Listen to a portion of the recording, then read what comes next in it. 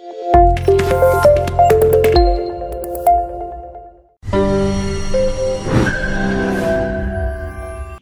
दर्शकों, मैं हूँ याशिका पाटोदी आपके साथ और वक्त हो चुका है आज की पाँच की पंच का। तो शुरू करते हैं आज की पाँच बड़ी खबरों के साथ।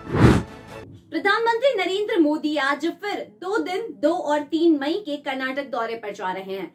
इन दिनों पीएम राज्य में होने वाले विधानसभा चुनाव के प्रचार के लिए सात रैलियाँ करेंगे। दो मई को वे चित्रदुर्ग, विजयनगरा, सिंधानपुर और कलबुर्गी में जनसभा करेंगी। वहीं तीन मई को उनकी मोदाबिद्री, करवार और किट्टूर में रैलियाँ हैं।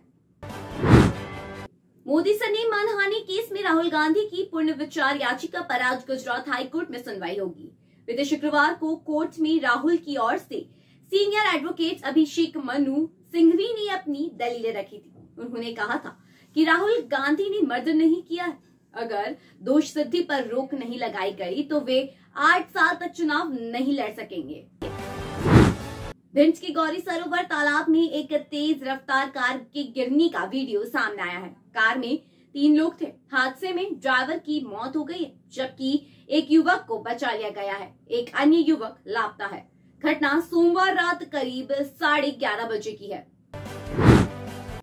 मध्य प्रदेश में विधानसभा चुनाव को अब छह महीने का वक्त बचा है। भाजपा और कांग्रेस में टिकट को लेकर हलचल तेज हो गई है। सीएम शिवराज सिंह चौहान ने आज मंगलवार को बाईस विधायकों से वन टू वन चर्चा की। सीएम ने विधायकों को पूरे कार्यकाल की परफॉर्मेंस रिपोर्ट और सर्वे में सामने आई स्थिति को बता दिया।